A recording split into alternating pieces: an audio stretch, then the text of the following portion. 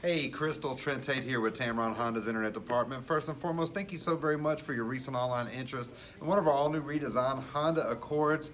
This is the LX trim package I believe you were looking for info on. This is the new Radiant Red Metallic. And the new Accord, they made tons of new technology standard. You'll notice here, we've got the Honda Sensing suite of driver assist features standard on all model line Accords this year, as well as all LED front lights.